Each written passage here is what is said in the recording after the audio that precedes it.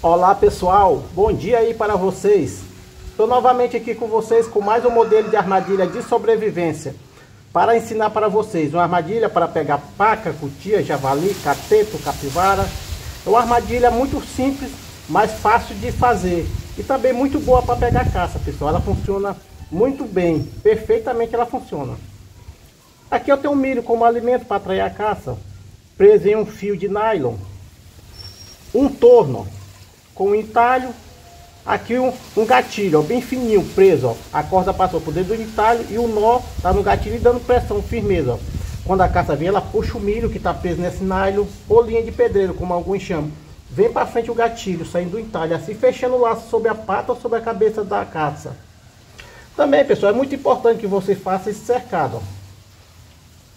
Todo feito de varinha em redor da armadilha, para que a caça não venha do lado ou por trás, ou por cima e roube, assim você não pegue ela, forçando ela a vir pela única entrada, ó. quando chegar ela vem com muita fome, pessoal, bota a pata aqui dentro e puxa, aí nasceu o gatilho, e você já terá uma casa, veja como é simples, viu pessoal, mas muito eficaz essa armadilha, quando eu armava que eu pegava a caça, raramente ela falhava, hoje já não pego, só demonstro, ensino, é só o mecanismo de sobrevivência, tá bom pessoal, porque hoje eu não necessito caçar, porque a lei brasileira proíbe que você pegue caça é, silvestre, animal silvestre. Então, salvo em caso de sobrevivência. Aí a lei brasileira permite que você mata, coma e se alimente, se mantenha vivo. Ok, pessoal?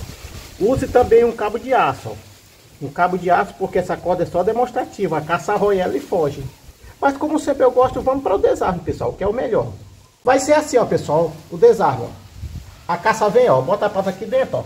Com a boca ela puxa o alimento. Quando ela puxar, vai sair do entalho. Vai ser assim, ó, pessoal. Veja aí, ó com muita facilidade, ó. Tá viu, pessoal? Quanto mais ela se debater, mais pega ela vai ficar. Então, uma armadilha muito boa, pessoal. Espero que vocês tenham gostado. Não se esqueça de se inscrever no canal. Dá aquele like para o YouTube entender que o canal tem relevância e assim compartilhar com mais pessoas que gostam desse tipo de conteúdo. E até a próxima, pessoal.